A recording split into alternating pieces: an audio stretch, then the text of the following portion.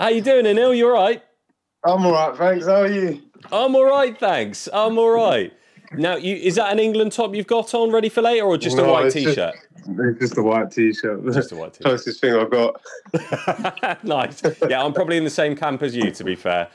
Now, Anil, I, I heard you uh, had some great news from BOTB. I did, yeah.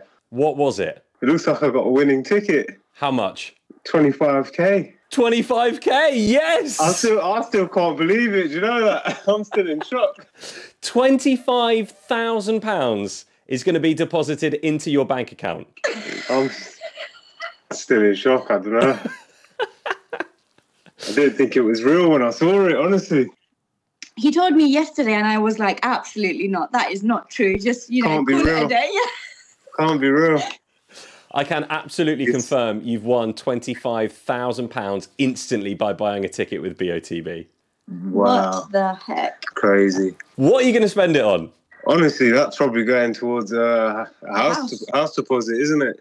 Yeah, Amazing. house deposit it will be. yeah. Whereabouts do you live? We live in uh, West London, Southall. Okay, cool. Amazing. Yeah.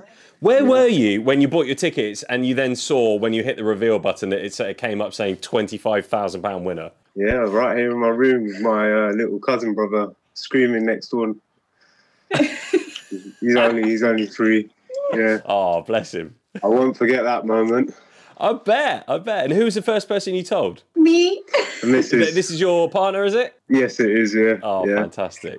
Yeah. And what you said literally, you were like, I don't think this is real. I said, until you get it into your account, don't even tell me. I don't want to know. She's the one always telling me to stop stop uh, buying these tickets. Really? She was like, You're never going to yeah. win. Yeah, yeah, exactly. Today is the day. Well, Anil, have a fantastic rest of your weekend in the knowledge now that you're going to be £25,000 better off. Amazing. Anil, have a great day. We'll speak to you later.